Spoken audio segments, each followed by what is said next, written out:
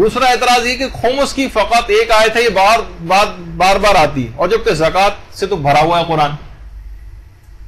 जिस, इसका तो पिछली दफ़ा भी मैं जवाब दे चुका हूँ कि भाई, हज़रत ईसा हज़रत मूसा का बार बार ज़िक्र हज़रत मूसा का तो 20 से ज़्यादा मरतबा ज़िक्र है और पैगंबर इस्लाम का फकत तीन मरतबा नाम आया।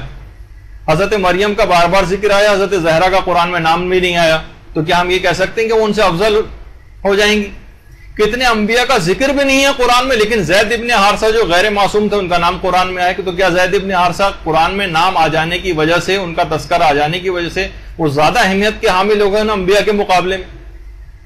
अगर फजीलत के एतबार से ही कुरान में ज़िक्र होता, जिसका ज़िक्र ज़्यादा है वो ज़्यादा फजीलत का हामिल है तो पैगंबर इस्लाम का नाम कुरान में भरा होना चाहिए।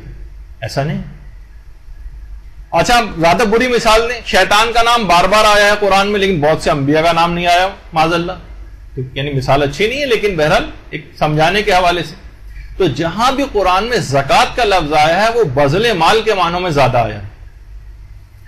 यानी मुस्तकिन तक ये मखसूस उस जक़ात जो कि माल पे निकाली जाती है एक परसेंटेज के एतबार से, जिसका बाकायदा के निसाब है, उसका ज़िक्र कुरान में सदक़े के उनवान से तो आया जक़ात के उनवान से नहीं जक़ात बत्तीस मरतबा कुरान में तस्करा आया है। उनमें ग्यारह आयतें मक्की हैं और बाईस मदनी आयतें कुरान में। अच्छा हुक्म जक़ात सबको पता है कि मदीने में नाजिल हुआ। चले, मदनी बाईस आयतों में तो हम कह सकते हैं कि क्योंकि मदीने की आयतें, लिहाजा वो जक़ात माल की आयतें होंगी। लेकिन जो आयात जक़ात जिसमें तस्करा आया है, वो ग्यारह आयतें मक्की हैं। उनके मुतल आप क्या कहेंगे? वहाँ कौन सी जक़ात की बात हो रही है? वो तो मक्के से मदीने हिजरत से पहले मक्के में वो आयात नाजिल हो चुकी थी, जबकि जक़ात फ़र्ज़ भी नहीं हुई थी।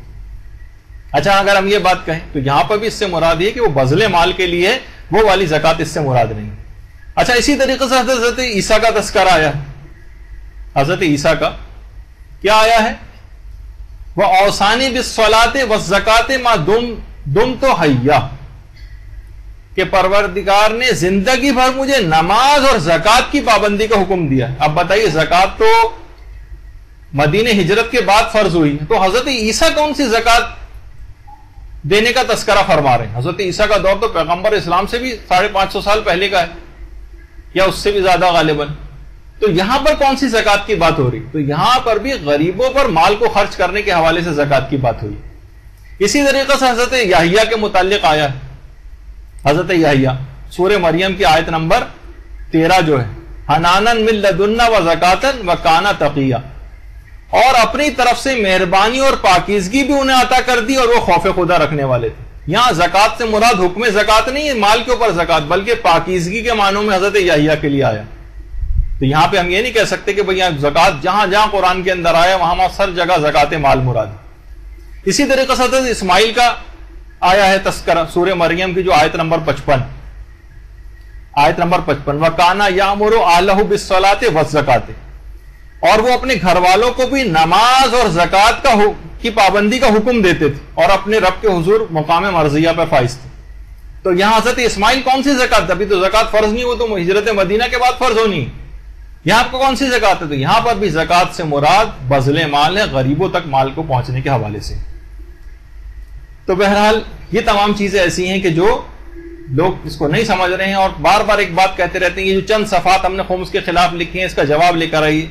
देखिए, जाहिलों की बात के जवाब नहीं दिए जाते। उलमा की तरफ़ से उनकी पॉलिसी है हमेशा से।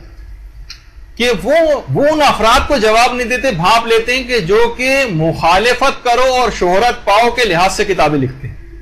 एक बात, बहुत अहम बात। यानी वो चाहते हैं कि हम ऐसा कोई नज़रिया, जो भी टेढ़ा मेढ़ा नज़रिया है, वो हम कोई भी पेश कर दें और उसके बाद हमारी शोहरत हो जब जवाब लिखे जान लेंगे, लोग कहेंगे, देखिए, फला साहब का, फला इतने बड़े आलिम ने जवाब दिया, अब इन साहब को और शोहरत मिलेगी।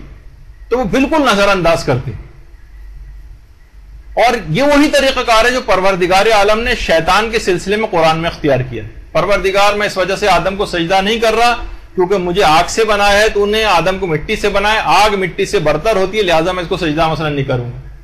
परवरदिगार चाहता तो दलाइल के अंबार लगा देता कुरान कि मिट्टी किन, कितने कितने मायनों में आग से बेहतर।